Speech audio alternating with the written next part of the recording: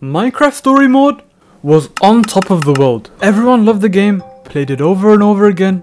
All of us watching our favorite YouTubers while we were on the edge of our seats, and the game was an instant hit worldwide. But fast forward a few years, have you heard anything about it? So what happened? Now you probably think that it's just a classic decline in relevancy and it's like every other story, but that couldn't be further from the truth because there are still people, many people, who would love to play this game and would probably still buy it. So why don't they? Well, it's completely off sale. You can't buy this game anymore, so there's no way that you can play it unless you bought it before it was taken down. So that begs the question, why? Why would the game be taken down if there are still people who are willing to buy and play it? We need to start from the very beginning. It begins with Telltale Games. They were a titan in the gaming industry, they created the Walking Dead interactive series and they were making a name for themselves. And then they ventured into Minecraft. At a time, Minecraft was booming and it was an insane opportunity for Telltale.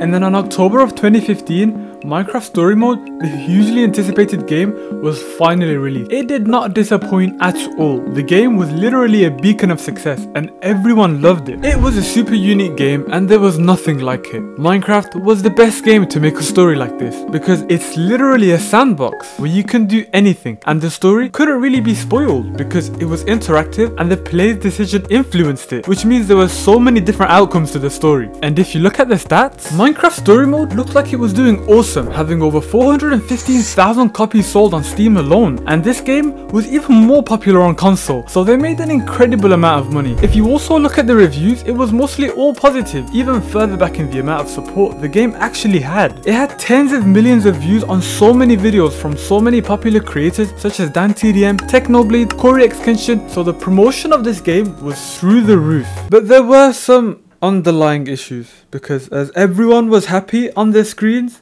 there was absolute chaos behind the scene.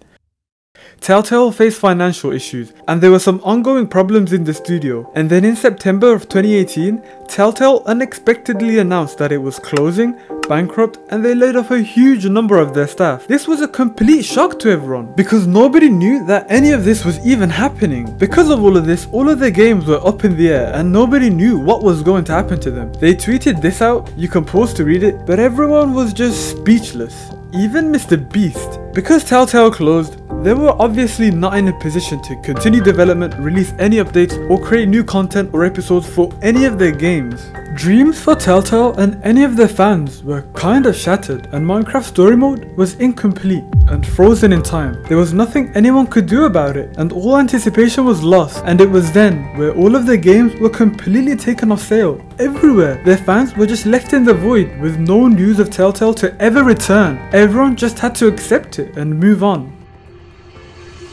But out of nowhere, after months, after everyone expected Minecraft Story Mode to never return to any digital fronts, Netflix came out of nowhere and was releasing Minecraft Story Mode on Netflix, where you could actually play it with your remote or keyboard or whatever device you were using. This was huge for many people, especially those who hadn't played the game before. But it wasn't the craziest thing to ever happen, because it was only the first 5 episodes of the first season, and the remaining 3 were never released. There wasn't any new content, and it didn't mean that new seasons or episodes would ever ever come out. It just meant that they were on Netflix for anyone to play. And it doesn't get any better because after a couple of years, Netflix's license to keep Minecraft Story Mode had expired. So just last year in December, it was completely taken off Netflix globally.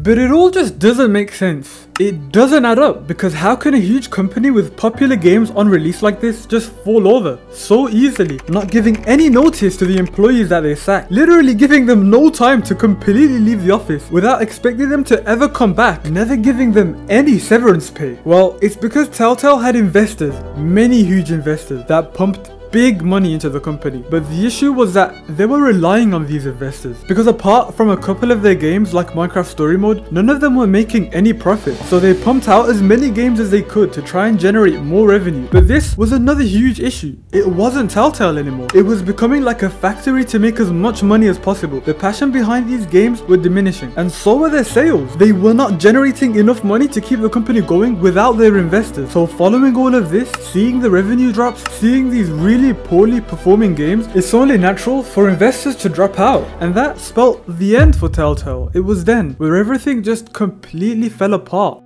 This was the saddest ending of a studio I've ever heard of. So many people lost their jobs and were so disappointed. All of the projects that fans were waiting for just got discontinued, but you would think that's the end, right? Surely. Telltale couldn't come back from this. After everything that happened, well yeah, they're actually back and this was because it was bought by a company called LCG Entertainment in 2019 and they actually brought back a lot of the employees that were laid off back when Telltale was on its last legs and they're currently continuing all of Telltale's popular shows that have been left off like The Wolf Among Us 2. But you might be thinking, what about Minecraft Story Mode? The game that you clicked on this video for? If Telltale is back, surely Minecraft Story Mode would be back too, right?